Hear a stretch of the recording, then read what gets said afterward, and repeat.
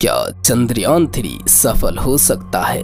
तो आइए इस वीडियो में विस्तार से जानते हैं। मिशन 14 जुलाई को दोपहर दो बज के पैंतीस मिनट पर श्रीहरिकोटा केंद्र से उड़ान भरी।